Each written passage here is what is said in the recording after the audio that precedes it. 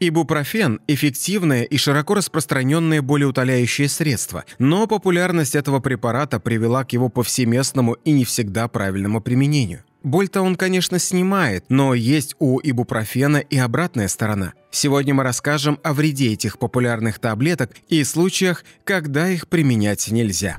Что такое ибупрофен?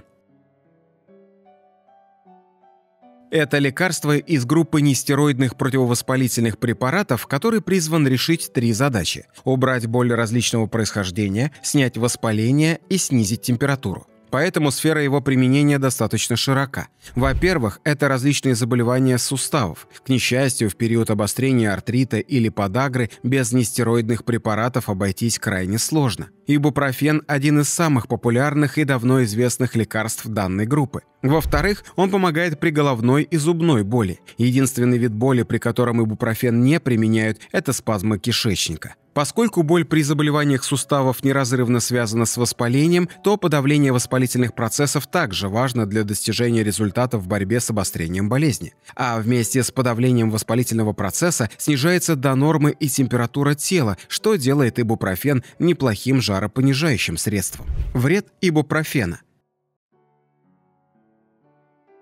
Что же является проблемой приема этого лекарственного средства? Даже в инструкции к нему четко сказано, что принимать ибупрофен нужно как можно более коротким курсом. Также уточняется, что снимая симптомы при заболеваниях суставов, ибупрофен не может убрать причины болезни. Зато оказывает негативное воздействие на некоторые органы и процессы в нашем организме. Во-первых, он нефротоксичен. Длительное употребление ибупрофена может привести к снижению функции почек, а передозировка к острой почечной недостаточности. Поэтому от приема этого препарата стоит воздержаться, если функция почек уже снижена и клиренс креатинина ниже 30 мл в минуту минуту. Второе противопоказание – активные фазы заболеваний печени или хроническая недостаточность этого органа. В-третьих, ибупрофен вреден для желудочно-кишечного тракта. Его прием повышает риск возникновения гастрита и язвы, в результате чего может открыться желудочное кровотечение. Также ибупрофен негативно влияет на обострение язвенного колита и других воспалительных заболеваний кишечника.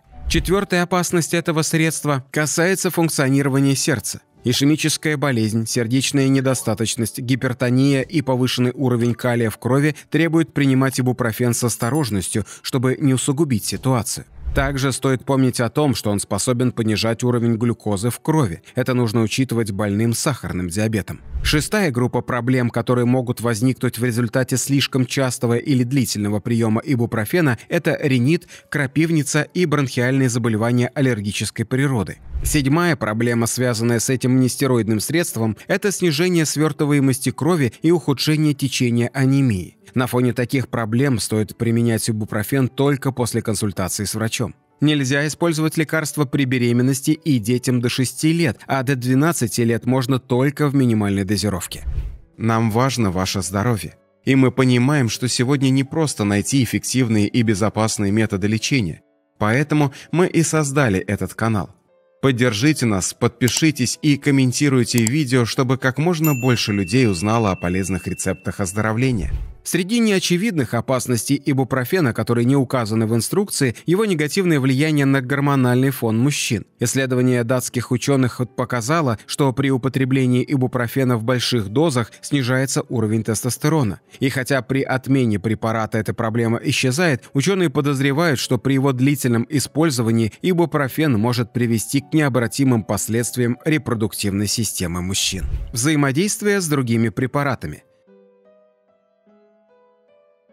Помимо собственного вреда ибупрофена, стоит учитывать его влияние на прием других препаратов. Он увеличивает концентрацию в крови метатрексана, лития и дигоксина. Также ибупрофен повышает эффективность антикоагулянтов и фибринолитиков. При одновременном применении с глюкокортикостероидами, эстрогенами и сульфанилмочевиной ибупрофен повышает риск развития побочных эффектов. По этой же причине не стоит сочетать его с другими нестероидными противовоспалительными препаратами, а циклоспорин, цефамонадол и миелотоксические препараты усиливают поражение почек и печени. Наконец, стоит учитывать, что ибупрофен снижает эффективность некоторых мочегонных, гипотензивных и уриказурических препаратов. Подытоживая, стоит отметить, что все негативные стороны этого средства не отменяют его эффективность и необходимость применения при обострениях суставных воспалений и сильных болях иного происхождения. Но делать это нужно с учетом всех рисков и непродолжительный период.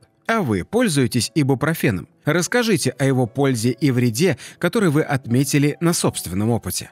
Напишите нам под этим видео, что вы думаете по этому поводу. А чтобы не пропустить новые познавательные ролики про здоровье и долголетие, подписывайтесь на наш канал. При нажатии на колокольчик не забудьте отметить, что хотите получать все уведомления. Здоровья вам и долголетия!